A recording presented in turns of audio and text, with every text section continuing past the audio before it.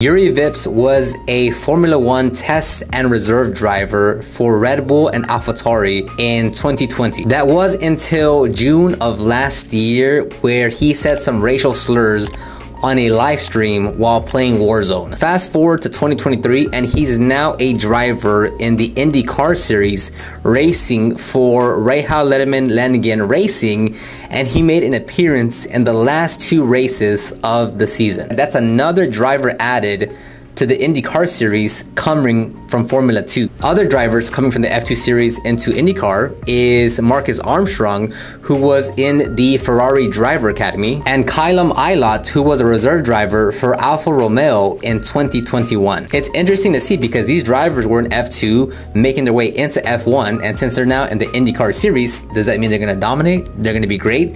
Are they going to be competitive? We'll have to wait and see.